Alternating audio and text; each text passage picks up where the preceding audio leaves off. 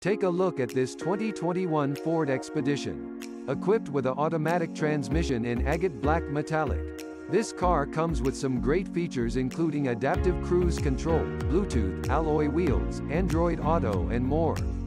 Come in and check it out today.